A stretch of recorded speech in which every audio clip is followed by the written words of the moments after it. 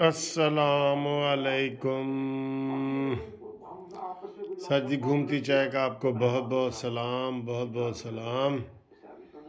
और ये देखें जी, वो नजम सेठी साहब बातें कर रहे हैं, बड़ी लंबी चौड़ी। और, बातें क्या कर रहे हैं? बातें वही कर रहे हैं कि जनाब अली, काफ लीग इस्टेब्लिशमेंट के सहारे पे ही चल रही है। उन्होंने भी कोई इमरान को हाँ नहीं की ना नहीं की कुछ नहीं किया ये वो सारा।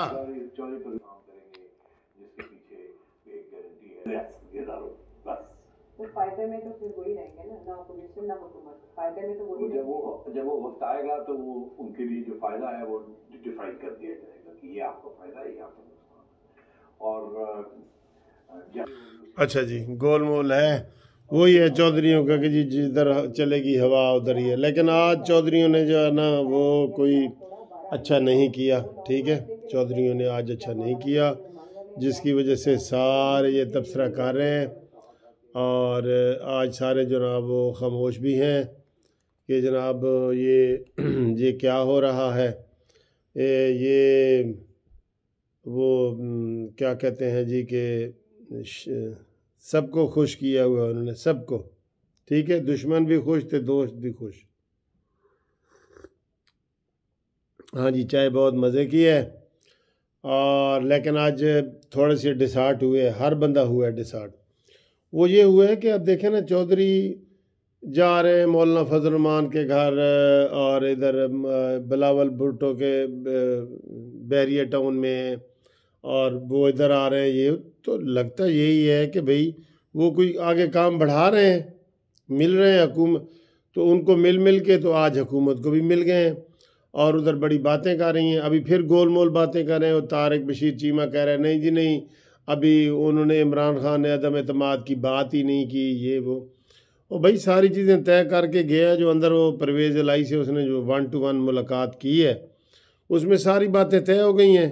कि जनाब बुजदार ਦੀ ਜਗ੍ਹਾ ਤੇ ਤੁਹਾਨੂੰ ਅਸੀਂ ਲਿਆਵਾਂਗੇ ਲੇਕਿਨ ਪਹਿਲੇ ਤੁਸੀਂ ਪਹਿਲੇ ਤੁਸੀਂ ਅਦਮ ਇਤਮਾਦ ਜਿਹੜੀ ਮਰਕਜ਼ ਵਿੱਚ ਆ ਰਹੀ ਹੈ ਉਹਨੂੰ ਤੁਸੀਂ ਸਪੋਰਟ नहीं करना ਤੁਸੀਂ हुकूमत ਦਾ ਨਾਲ देना ये ये सारी बात हुई नट शेल है मैंने आपको नट शेल बता दी है ठीक है ना बाकी अब उधर से नवाज शरीफ भी खामोश हैं मरीम नवाज साहब भी खामोश हैं शबाज शरीफ हमेशा का खामोश है।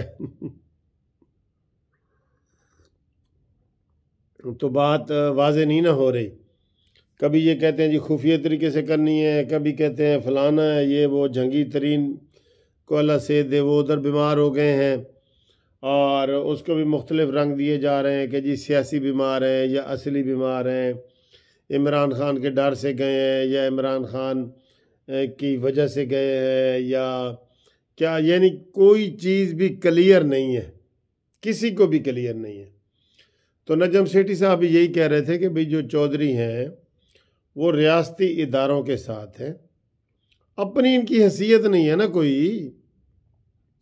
काफ लीग जो है वो रियासती इदारों के साथ है, अपनी कोई हैसियत नहीं है। तो मुझे तो अब यही लग रहा है कि भाई एंड पे जो है ये फिर इल्ज़ाम यही लगना है कि जी रियासती इदारों ने ये किया है और वो किया है। ये ये डर है, मुझे ये डर है, ठीक है? तो अब इसमें, अब जहांगीर तरीन वाला ग्रुप रह गया है। एम क्यू एम भी काबिल एतबार नहीं है, बिल्कुल काबिल एतबार नहीं है। शेख रशीद कहता है, जी, आज से तहरीक अदम अतमाद ख़त्म ही समझो। शेख रशीद। और फवाद चौधरी का भी यही बयान है।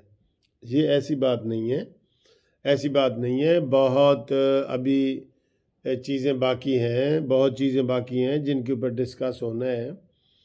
और, चौधरीयों का, लेकिन ये देखें ना, परवेज़ परवेज़ अलाई वगैरह का, शबाज शरीफ साहब के घर में खाने पे ना जाना। अभी तक उन्होंने कोई दावत कबूल नहीं की। और फिर आज इमरान खान के हवाले से जो बातें आई हैं कि जी हम इकट्ठी सियासत करेंगे, हमारा साल, दो साल का माहदा नहीं है, हमारा पाँच साल का माहदा है। तो ये सारी चीज़ें यही बताती हैं कि फिर ये मुनाफ्कत ही करते रहें कि इधर मिलते रहें इनको।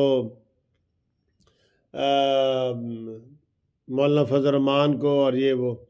आप एक चीज़ देखें कि मौलाना फजल रहमान बैक पे चले गए आपको ये पता है?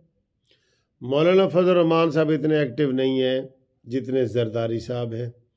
पीडीएम के चेयरमैन मौलाना साहब हैं लेकिन मौलाना साहब अमली तौर पे बिल्कुल खामोश हैं वो के पी के में अपनी मुहिम चला रहे हैं। ठीक कर रहे हैं बिल्कुल मुहिम चला रहे हैं। पीपल्स पार्टी भी ये लॉन्ग मार्च और जल से जुलूस कर रही है वो भी अपने आप को सियासत के, के तौर पर ज़िंदा किए हुए। अगले इलेक्शन चाहे वो बलदयाती हों या कौमी हों उसके लिए। सिर्फ़ जो तैयारी नहीं ना कर रही, वो आपको नून लीग कहीं पे जलसा जलूस करते हुए नज़र नहीं आएगी। बाकी सब पार्टियाँ कर रही हैं, सब। यार, हुकूमती पार्टी कर रही है, उन्होंने मंडी बाउद्दीन में जलसा कर दिया है, और उन्होंने सिंध में वो लॉन्ग मार्च कर रहे हैं, वो कर रहे हैं। सियासी एक्टिविटी ऑक्सीजन होती है पार्टी के लिए, ठीक है ना? अब अब हम क्या करें? अब हम क्या करें सर जी? हम अपनों को अपनों को कैसे समझाएँ? अपनों को समझा समझा के हम थक गए हैं कि जनाब, तुसी मूंछ घुंगनियाँ पा के ना बैठो।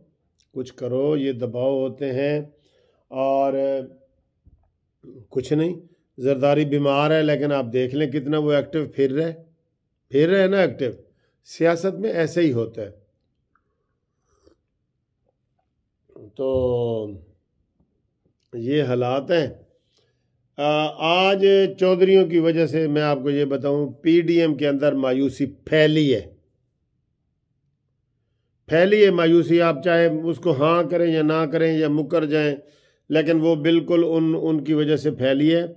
अब वो खुद वजाहतें कर रहे हैं, वो तारक बशीर, चीमा साहब, कि जी मेरा ख्याल है ऐसी कोई बात नहीं हुई और ये, जब भाई इमरान खान की और परवेज़ लाई की मुलाकात हुई है और वहाँ से ख़बरें निकली हैं। वहाँ पे जो लोग साफ़ी मौजूद थे, वो सारे ये कह रहे हैं कि जनाब, वहाँ पे सारा कुछ तय हो गया है और चौधरीों ने ग्रीन सिग्नल इमरान खान को दे दी है तो फिर बाकी पीछे क्या रह जाता है? तो ये हालात हैं, ये वाक़ात हैं। तो इन ताला आपको ताज़ा तरीन ख़बरें को सुबह बताएँगे। अभी तक तो ये हालात है कि काफ लीग वालों ने जो है ना पानी फेर दी है उम्मीदों पे काफ़ी लोगों की। लेकिन हालात पलटा ज़रूर खाएँगे। ये ये इस तरह रह नहीं सकते, इस तरह रह नहीं सकते, ठीक है? एक ग्रुप नहीं है ना। कई ग्रुप हैं, लेकिन वो सीटी के इंतज़ार में भी हैं, फ़ोन के इंतज़ार में भी होते हैं। ठीक है जी? इन ताला अगली वीडियो में आपसे मुलाकात करते हैं।